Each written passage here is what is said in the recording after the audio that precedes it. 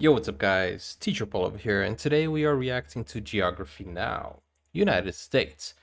I mean, we have done so many countries, and we haven't done the US yet, have we? So let's react to this, and if you guys are new to the channel, don't forget to subscribe and like this video. Let's go. This is quite an old video, but I hope it's still relevant, you know. let's go. Hey Geograpeeps, so this is a little video that I kind of wanted to make for a while, but never really had time until now. So of course the majority of Geography Now subscribers are from, you know, my home country, the US. However, we do have a very, very noticeable and sizable community of subscribers outside of the US. And some of you have expressed, you know, a little curiosity as to how each of the 50 states, you know, kind of function or what they're like. Each state does kind of have their own unique individual qualities, and I'm gonna try my best to explain each and every single one of them to you right now. Alabama, where both white people and black black people are poor, but they party equally hard. Roll Tide! No, but seriously, Alabama is kind of like where the Confederacy started, so, uh, yeah, Civil War. Alaska, America's refrigerator. Seriously, this is like where oh, we stockpile wow. up all our resources that we won't tap into until things get really messed up. It's the largest and coldest state. You can find polar bears and the native Yupik people. Arizona, the Grand Canyon state. This is okay. kind of like the King Desert state of the U.S. Arizona is also home to the largest Indian reservation, Navajo Nation. Arkansas, basically just read the book Where the Red. I mean, I knew that this video was gonna be a little bit longer because it was 50 states, but then when I saw the time, it, the duration, it's 13 minutes. So, yeah, I I did expect him to be very, very, um, you know, just tap into the the information very superficially. So, yeah, interesting how he he um, sums up each state um, I don't know how many people will react to this because, you know, how can you sum up a, a whole state with a few words? So I'm curious to read the comments after watching this. Fern grows, it basically just gives you the gist of what Arkansas is like. And the people here love dogs. They have like the highest dog ownership out of any state in the country. California, nice. my home state. Ah, so let me just put it like this. If California somehow, for some reason, seceded from the US, it would still be like the world's seventh most powerful economic superpower. So Whoa. obviously California holds a high position of geopolitical influence in our country. Nonetheless, California is still heavily dependent on the US government. We're the home of the entertainment capital of the world. Three of the largest tech companies in the world are in Silicon Valley. Crazy diversity and everything you need packed into one place, California. Colorado, our healthiest nice. state, which has the lowest levels of obesity. This is probably because people go outdoors and get, you know, fresh air and enjoy those mountains. Just uh, be careful if someone offers you a chocolate truffle or a brownie. They are really enjoying those new cannabis laws. Connecticut is like the gentler, cleaner suburbs that people move to when they are sick and tired of New York. Delaware, the first state to become a state, and that's like literally all they got going for them. I think they have like a cardboard box factory. Florida, America's swampy playground. Seriously, like none of the houses here have basements because if you just dig down a little bit, you'll hit water. Orlando was originally Whoa. built because not enough Americans could travel all the way to California to visit Disneyland, so they built Disney World. They made it bigger, and then like 8,745 other theme parks opened up. Georgia, the peach wow. state, home to Coca-Cola and the busiest airport in the So you're telling me that it was just built for amusement, like Las, Las Vegas or something like that? US, boiled peanuts, and Little Miss Beauty pageants. Yeah, some places do that in America. Hawaii, the last state to become a state. Before we made Hawaii into a state, it was actually its own country, like it was a Polynesian country. They had their own monarchy and everything. Liliuokalani was the last queen. It's pretty cool. Otherwise, you know the rest. Hula, surfing, pineapples, luau's, yada yada yada. Idaho. The only fact that most Americans know about Idaho is that they grow the most potatoes out of any other state. I mean, apparently wow. they have some cool secluded spots like hot springs and gorges. Otherwise, I feel like the people in Idaho are probably hiding a lot of dark secrets that we don't know about. Illinois, ah, the land of Lincoln, even though Lincoln was born in Kentucky. Now, I actually grew up a large portion of my childhood in this state, and a lot of people know this place by another name, Chicago. Seriously, like half the time people don't even know what state Chicago is in. And historically, it was known as like the slaughterhouse of America, partially because all the cows from Texas were brought up here to be slaughtered, and also because eh, there was kind of like a little bit of a mafia past. Indiana is like wow. Illinois' annoying little brother who took the town of Gary away from Chicago, and then they get to claim that they have the birthplace birthplace of Michael Jackson. No, but seriously, like the only interesting thing from here is like the Indy 500 car race. Otherwise, John Green is from here. Iowa. Iowa is like the state that was so flat and so dull that they had to find creative ways to entertain themselves. Oh, and they're known for being really good at wrestling. Kansas is the heart of the Midwest, famous for Dorothy from Wizard of Oz, and this is literally the flattest state in our entire country. Ah, Kentucky, you with your baseball Okay. bats and bourbon and KFC. Let me just comment. It's a nice, um, nice location to go on a road trip. Then, Kentucky. Who doesn't know KFC, right? Our entire country. Ah, Kentucky, you with your baseball bats and bourbon and KFC and horse derbies. It's also home to Fort Knox where we hide all our gold. Louisiana. Ah, now y'all coming down here, y'all gonna see that you gonna get the real culture Cajun. Vous comprenez, mon ami? Louisiana is one of the only few states Okay. left in the U.S. that has concentrated francophone communities that speak French, kind of. Known for the bayou and a diet high in crawfish and crabs, reptiles, and other swamp creatures. This place is unlike anywhere else in the U.S. Maine, the lobster state. This is like where all the tough Atlantic sailors come and live and have houses on foggy cliffs with lighthouses. Maryland. Maryland is like home to the richest, most well-educated black people in our country. It's also home to Olympic gold medalist Michael Phelps. They also Michael love crab, Phelps. crab cakes, baked crab, boiled crab. You cook it, they eat it. Massachusetts is like the library of America, and it has our best university, indisputably in the world, Harvard. However, there's like three different types I of people from. Massachusetts. There's the uppity, the gritty, and the intellectual gritty. They all believe they are better than the other two. Michigan. I am so sorry. You were doing so well in the early 20th century. You're like one of the richest states, but then you kind of filed the largest municipal bankruptcy case in US history. Minnesota. Wow. I was actually born there. Minnesota is kind of like the Finland of America. Plus, there's also like an actual lot of Finnish people and other Nordic people that live there as well. The land of 10,000 Okay. lakes. And Makes if I must say, they have some of the most attractive people in our country. It's just uh, they have kind of funny accents. Hey kids, let's go grab our bags and read the magazines. Yeah, I grew up with that accent. Mississippi. This is like probably America's truest, deepest southern southern. Y'all put some butter on my grits state. Speaking of butter, yes, they are the fattest state. They are. They love their churches, pecans or pecans, and tons of famous people like Oprah and Elvis were born here. Missouri, America's gateway to the Midwest. Missouri is kind of like Kentucky's fraternal twin that also got mixed up in the Civil War and was kind of acting like a buffer zone. Today they are known for their Kansas City barbecue. Yeah, the largest part of Kansas City is actually in Missouri, not in Kansas. Las Vegas for old people and people who probably collect those tacky figurines Las Vegas and put for them in their old china cabinets. Sorry, Missouri, just that's the image that conjures up in my head when I think of you. Mon- Um, I mean, let me just ask you: if you're from any of these states, is anything he's saying offensive to you?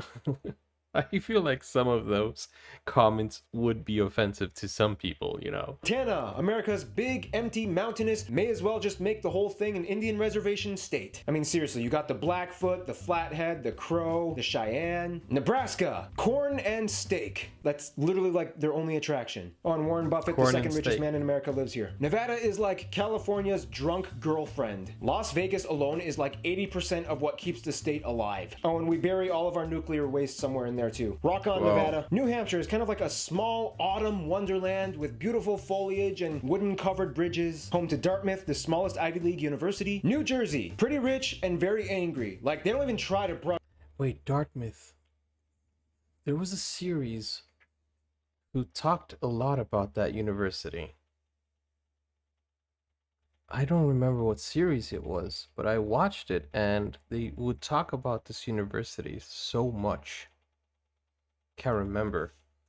The smallest Ivy League university, New Jersey. Pretty rich and very angry. Like, they don't even try to brush off the stereotype, they just own it. They either go crazy on the dance floor or crazy on each other. New Mexico is like Arizona's little brother that had to live in his shadow his whole life, but then Breaking Bad happened, and now he came out with like six pack abs and a sleek new look. and uh, Roswell is supposedly where aliens landed. New York is kind of like where so much of American history got its roots. Most Caucasian Americans Bad, that by have the way. ties to immigrants from the 1800s can trace their ancestors back to Ellis Island, where most Europeans came in. Home to our largest city by population, New York. Proud people with big attitudes, and they never sleep. Seriously, like this whole place never stops moving. North Carolina, the first in flight state in which the Wright brothers flew the first powered aircraft in 1903. Otherwise, Coca Cola's arch nemesis, Pepsi, was born here. North Dakota, congratulations. Now everybody's paying attention to you because of that whole Standing Rock Reservation, Dakota Access Pipeline controversy drama thing. In addition to a high concentration of Native Americans, there's there's also a lot of Norwegians that live here, many of which still speak Norwegian at home. Ohio is like the most plain Jane typical American experience state with corn dogs and fireflies in the summer with fireworks and carnivals. They also have the largest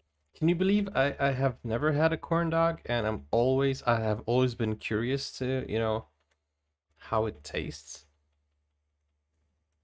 If you guys know any corn dog shops here in the uh, UK, let me know. I would like to try that largest Amish population out of any other state. Then election time comes up and everything becomes a bloodbath. Oklahoma, America's tornado state. Now, pretty much all of the Midwest gets tornadoes. However, Oklahoma, dang, you get hit hard. Oregon, it started out as like the frontier logging and lumber state with burly men with axes and chainsaws. But then one day, the hippies realized they couldn't afford living in San Francisco anymore, so they all just kind of moved up north. Now Oregon is like this weird lumberjack, vegan, hipster, hybrid freak show with good donuts. Pennsylvania Pennsylvania, America's history state. We should have had our capital over here, and technically at one point our Congress did actually meet in Philadelphia. If you want a real American history story, come here. Rhode Island, our smallest state, and it's not even an island, not even a peninsula. The heck, Rhode Island. Anyway, they were one of the original 13 colonies, and other than that, they really don't have much else going for them. I mean, they're home to the fictional city of Quahog in the show Family oh, Guy. Wow. That's about it. South Carolina. These people love their tobacco, fudge, walnut. I mean, can you believe? I mean, could you imagine like your hometown is is only famous for being um the city from Family Guy? I'm sure that's not true. I'm sure there's a lot more going on there nuts, and it's home to the largest portion of the Gullah community. They speak their own Creole mixed with African influences, and they hold their own communal festivals and celebrations. South Dakota, the other Dakota, home to Mount Rushmore, America's Dakota. most iconic presidential landmark. They're also working on the largest sculpture in the world, the Crazy Horse Monument. Otherwise, like North Dakota, they also have a sizable Native American community, mostly part of the Sioux Nation. Tennessee is kind of like the girl down the block that Texas has a little crush on. The capital of the Appalachians, mountain folk, because you're the only 10 I see. Uh, bluegrass. Country music artists all come here in hopes of making record deals. Now everybody knows about Texas. Texas was at one point even its own country, and in Texas, everything really? is bigger. Football or American football is basically a religion. Barbecue and barbecue sauce are each separate food oh, groups. Yeah. Cattle ranches are everywhere. And contrary to popular belief, most Texans don't really mind Mexicans or Mexican culture as so many already live in their state that they've actually kind of developed this new Tex-Mex culture that fuses both of them. Utah, basically nice everybody kind of knows this place place as being like America's Mormon state. Salt Lake City is like the headquarters of the Mormon church, and over half of the entire state's population is registered with them. Otherwise, they have great skiing. The Sundance Festival comes here all the time, and they have great eroded rock formations, like my favorite site in all of America, Monument Valley. Vermont is kind Whoa. of like New Hampshire's smaller twin brother that makes a lot more maple syrup. Otherwise, the only other thing that they got going for them is Ben and Jerry's. Like seriously, if that company goes Whoa. bankrupt, they will become the next Michigan. Virginia Whoa, but let's talk about Ben and Jerry's. That is, uh, I don't know. It's one of the best ice creams that I have ever had. Honestly, um, I don't know. Do you guys agree with me, or do you think there are better ice creams out there? But I really love Ben and Jerry's. I, I mean, it, it's it's expensive, but it's nice. Virginia is kind of like where everything started with the US. Essentially, the British came in, they tried to start a little small town, and then the whole Pocahontas thing happened, and then Disney made everything incredibly accurate. It holds so much history. So Virginia and Pennsylvania, Sarcasm. those are like the two history states. Washington, the evergreen state. Basically, imagine the exact same scenario with Oregon, except replace hippies with computer nerds. Bam! Microsoft, Amazon, Expedia, Starbucks, Boeing, they're all born. Oh, and a volcano erupted Whoa. in the 80s, and it's like really easy to catch flounder in their waters. West Virginia is like the southernmost like state that was actually part of the Union during the Civil War. It was like, nope, Virginia, I'm leaving you. They are also the oldest state. The average age is about 40, and we get a lot of coal from here. Wisconsin, America's dairy land. Now, nice. my personal belief is that everybody needs to have at least one friend from Wisconsin. I personally do. My friend Why? Bill, he's actually the one who made the theme song for Geography Now. Wisconsin people are like the easiest to get along with. They have the best stories. They're okay. also like home to the country's most most attractive, chubby people. They don't care. They own it and they flaunt it. Wyoming, home to our country's most noticeable national park, Yellowstone. Beautiful place, waterfalls, shooting geysers, hot springs. They have tons wow, of buffalo, and it's kind of like the training grounds for actual cowboys. And here's a little bonus, Washington, D.C., our capital. Although it has a population higher than two states, it's not a state, it's a federal district. The president lives here sometimes, Congress assembles, mostly. All the museums in the Smithsonian are free, but the hot dogs are crazy expensive. There's statues, monuments, okay. and everywhere you are being watched. Security cameras are everywhere. So have fun just not too much fun. Oh yeah, and we also have those territories like Puerto Rico, Guam, Marianas, and Virgin Islands, but we'll talk about those later. All right, now very quickly before we end this video, just please stay, please, just listen. As you guys know, I've mentioned this before. I'm trying to work to save up for my heritage trip that me and my mom are taking. And as you guys know, one way I'm doing that is by doing more of these sponsored videos. And I'm very happy to announce that a great company called Skillshare has decided to okay. sponsor Geography Now. What is Skillshare? That is Skillshare so cool. Is amazing. Okay, so um, we know that I'm gonna leave it playing in the background okay just so that you know he gets um, watch time from for the sponsor. But let's talk about this for a second. Um, i think the video's over right? He did talk about all states. Um, he did mention washington dc which is a district. Um, in my country brazil we also have a district which is which is called brasilia actually let me say that in the right pronunciation brasilia which is the capital of Brazil. So Brasilia is the capital of Brazil, and it is a federal district as well. And it is very near to Goiânia, and yeah, basically we also have that. And that's where the president is, and it's basically a a copy paste from the US. In fact, Brazil used to be called um, the United States of Brazil, and most of our culture is kind of like borrowed from the US. I don't know why. I mean, I guess we should have been more European because we were, um, you know, colonized by the Portuguese. But we, although, you know, the UK was also, um, uh, the US was also colonized by the UK, right? By England. Um, so I think the same thing that happened in the US happened in Brazil. Uh, we started developing our own stuff, but then I don't know why, the, like Brazil has a lot of um, US mentality. I don't know how that happened, um, but we do have a lot in common with the USA. And I think even our government system is very similar. Although, you know, our voting system is is very different um, and but we we do have left wing and right wing, uh, but we do have a lot more than um, Republican and dem- dem- um, Democrats. Uh, we have a lot more parties when it comes to election. Um, it is a, a, different system, but in any case, uh, culture-wise, we are very similar in a lot of things. Um, so it's interesting how how that played out, and I don't know how and why, but we do get a lot of influence from the U.S. And I think the whole world is being influenced by the U.S. You know, um, especially when it comes to food and entertainment, and you know, a lot of our movies and music are becoming more